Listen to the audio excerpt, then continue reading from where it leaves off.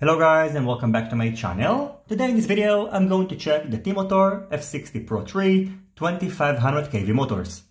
In this video I'm going to quickly go over the motor specifications and then measure the thrust using my motor thrust tent.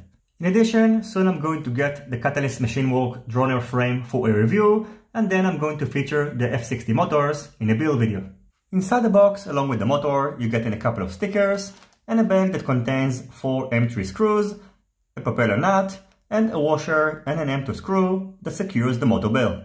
The T-Motor F60 Pro 3 is available in 3 kV versions, so you can get a 2700 kV version, a 2500 kV version, which is the one I have, and a 1750 kV version. The 1750 kV version is compatible with up to 6 S-type batteries, and the 2700 and the 2500 kV versions are compatible with 3 and 4 cells type batteries.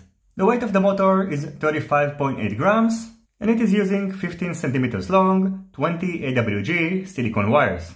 The next thing I've done is to bench test the motor using 4 different propellers and 3 and 4S LiPo batteries.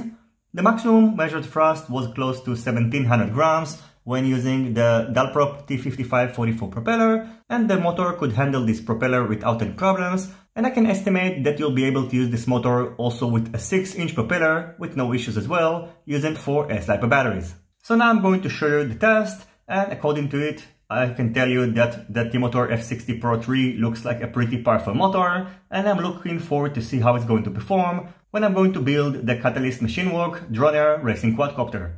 As always, I'm also going to include a link down below to the full test results in case you want to check it out. See you on my next videos, and goodbye.